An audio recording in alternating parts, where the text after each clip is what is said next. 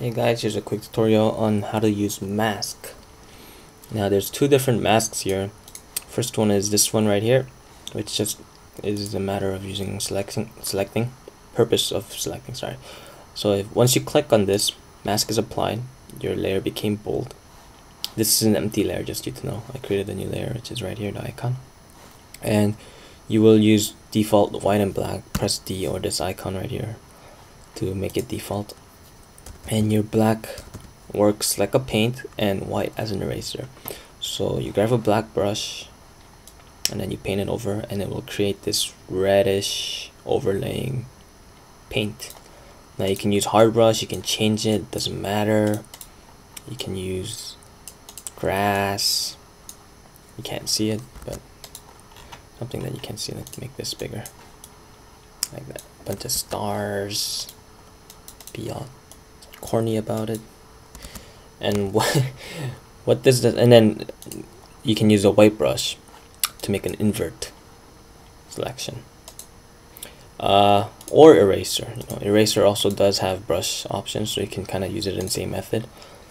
But in the end the red part including the soft edge that you see right here as it's fading that becomes a selection so it's definitely different than using lasso tool or selection or even magic wand. It gives you that soft feather effect mixed with the hard edge, including opacity, the strength of the choice, the selection. So once you unmask it now, this whole thing that you saw, the red, becomes selection.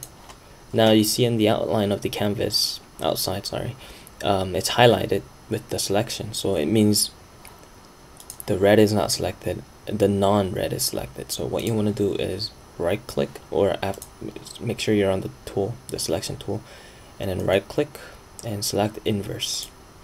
This will bring you back to that painting that you were seeing earlier. Now to show you what you guys originally painted I'm gonna color this in black. And again see you see that soft edge? The invert the strength of the opacity the hard edge it captures all that. Now lasso tool or or Marquee tool or magic wand cannot provide this exact same effect and it's a lot easier especially when you want to capture specific fast rendering. So that's one way of masking it. Another way and this is more for professional users or any advanced photoshop user is um, I'm just gonna duplicate the layer control D, uh, J or right click and duplicate. And then this is the exact same layer. It's not an empty layer. I'm just gonna go back to medium for you guys to show you. Uh, so I'm gonna go to fill adjustment and then curve to add more contrast. And right now I let's say I like this contrast right here just for the bottom but I hate it for the sky because I want to keep the blueness but if you increase it too much it becomes white and you lose that blueness right? So let's say I want to keep this bold strong grunge effect on the metal and the dirt but I don't want this exact same strength for the sky. I will click on this canvas right here the white one make sure you're clicked on it see? There's a difference. And I mean if you want to change it double click here and then you can change the strength of it always go back. But let's say I want to maintain this right? Click on this and grab a brush not the starry one the legit brush. And as I'm just gonna show you with a hard brush. If you click on it your curve effect is not applied where you're being you're painting on and you can see the paint right here. So for photo editing just because this is uh, metallic doesn't mean you want to use hard edge brush because that then you have to work on the little um, every little detail and you can see the the two effects being changed. So it's really hard to um, edit out specific what you want to use is non-hard brush or maybe like a bit hard doesn't matter because it blends easier you know? Like you can't really tell where the edge is so it's easier it looks more natural. And using the brush or zoom sorry and different brush size the greater the greater and uh, less bracket sign actually helps you increase the brush size. I'm gonna make this harder actually.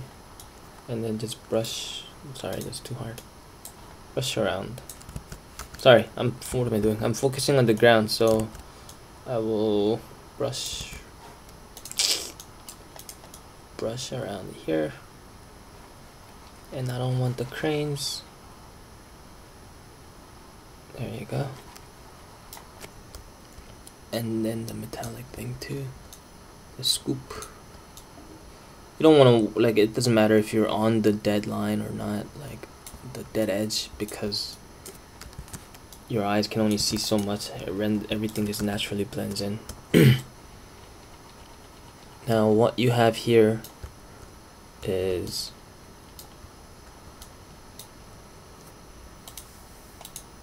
you only now have selected the bottom part of the the, the curve is only applied to the bottom the, the dirt. Sorry I'm stumbling on my words today.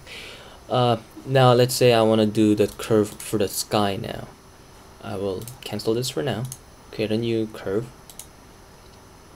and then do whatever I want. I want to keep that blueness so I will bring this down increase this to give the cloud more life. Not too much because it kind of looks like that then obviously. Just like that. Let's say I want to keep that sky I will now click on this layer and paint over simply the ground. But I mean this method is nice but make sure this is this doesn't have to do with masking it has to do with your eye actually. Um, make sure this contrast and this contrast matches you know? You don't want to make one too dark like that. Oops. And make it look completely retarded where this is completely over contrast and this is you know it looks normal. Like it's your eyes that tells you what looks natural if it blends together. And like one way of doing this this is one way. There's another way. Like there's multiple ways. Photoshop there's always no such thing as a solid answer. There's always multiple ways. You're always gonna have haters commenting saying oh there's a better way to do this. Eh. But apparently it's it's the matter of how everyone grew up with photoshop. So that's the basics of masking. I mean you can always like you can always use pen tool if you know how to help you with the selection not just brush and even lasso tool. So you can kind of use combination of different selection tools including magic wand to help you so play around and hope you get the concept and create something amazing out of it. Enjoy